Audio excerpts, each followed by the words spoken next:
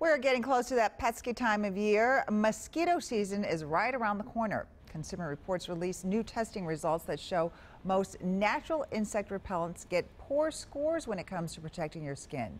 Molly Rosenblatt tells us what works and what doesn't. With the impending doom of mosquito and tick biting season upon us, you may want to consider new testing by Consumer Reports when choosing your bug repellent.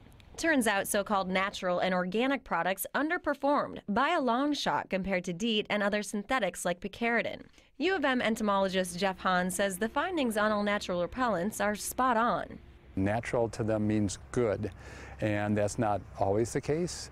And I think that's particularly a counter to, to DEET.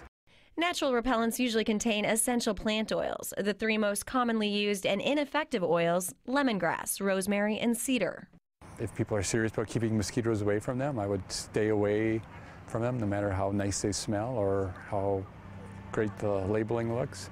Now, in the active ingredients on this organic can of bug spray, all three ineffective essential oils are listed. If you really want to protect yourself, stick to an old reliable DEET-based spray.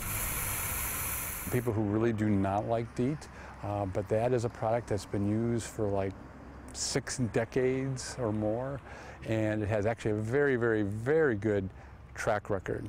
He says it's the most effective repellent available. And when protecting yourself, remember, application is also key.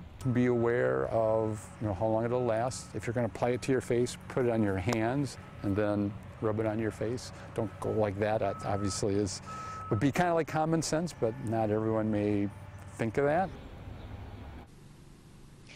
And Hahn reminds us that obviously wearing longer clothing is a good idea if you want more protection if you're going to be someplace that's especially buggy. Amelia? So, Molly, are there any natural ingredients that do work? Yes, actually, uh, lemon eucalyptus oil does, but not for very long, only about an hour. So if you're going to be out longer than that, he recommends using a DEET based product. Amelia? All right. Thank you, Molly.